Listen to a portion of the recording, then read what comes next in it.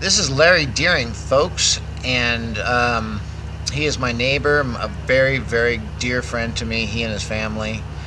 And it's the holiday season, so we want to praise God together today. So, Larry, let's praise God together.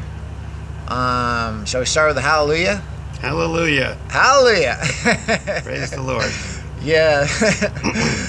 so uh, Larry knows Jesus really well, and he's in the part of the Baptist community in, in most of the churches, and he has the best friends on the planet. I mean, I'm even jealous of his friends. So that's how much I love his friends and think of uh, Larry. So here's his test. Here's a. Do you have a testimony for us today, Larry? Not a real testimony, I just have a praise. A praise. Okay, shoot. I'm praising God for my lovely family, two daughters, two grandchildren, and they all yes. love Jesus. Yes. And we're excited about that. Yes.